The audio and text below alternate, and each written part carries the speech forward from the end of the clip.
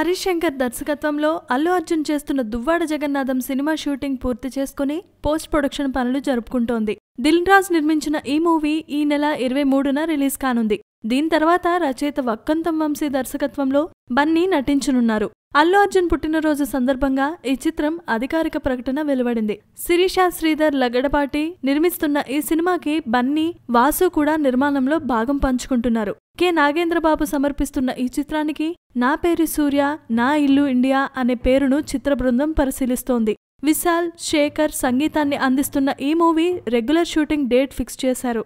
June ఇరవై ఒకటిన హైదరాబాద్లో ఈ సినిమా షూటింగ్ మొదలవుతుందని సమాచారం. అంటే డీజే రిలీజ్ కాకముందే బన్నీ మరొక మూవీని పట్టాలెక్కించేస్తాడన్నమాట.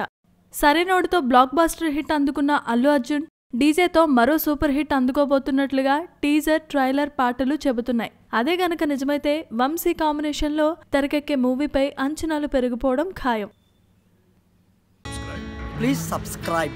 Hi, it's me Purna. Please subscribe.